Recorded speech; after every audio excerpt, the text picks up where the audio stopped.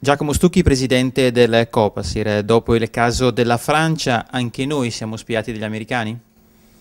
Ma quando siamo stati in visita a Washington a tutte le agenzie dell'intelligence americana è stata esclusa questa possibilità in quanto il sistema PRISM che era sconosciuto anche come progetto al, ai governi che sono succeduti nel nostro paese negli ultimi anni è dotato, ci è stato spiegato di una serie di filtri che dovrebbero impedire eh, intercettazioni su eh, dati sensibili di cittadini italiani, europei in generale e soprattutto dovrebbe essere impedito impedita l'acquisizione dei contenuti delle conversazioni. Stiamo parlando in questo caso di metadati, cioè di dati che riguardano identificativi di chiamante, di chiamato, orario di chiamata, piuttosto che la durata di una comunicazione e non del contenuto. Stiamo parlando di dati che gli americani in forma di tra virgolette metadati considerano lavorabili eh, e molto meno sensibili rispetto ai contenuti. Nel nostro paese al contrario metadati e contenuti sono tutelati allo stesso modo.